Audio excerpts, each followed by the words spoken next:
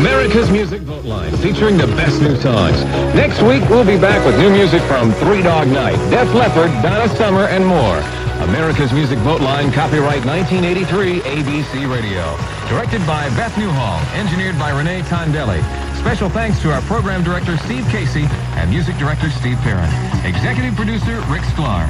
America's Music Vote Line is written and produced by Jeff Davis for WLS and the ABC Radio Network.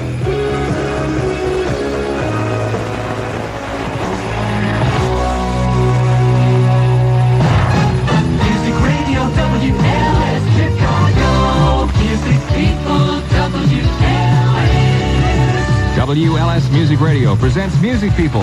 Tonight, an hour conversation with Eric Burdon, Chas Chandler, and Alan Price of The Animals. Brought to you by Old Style. Whatever you do, make it worthwhile. And when you do it, do it with swing.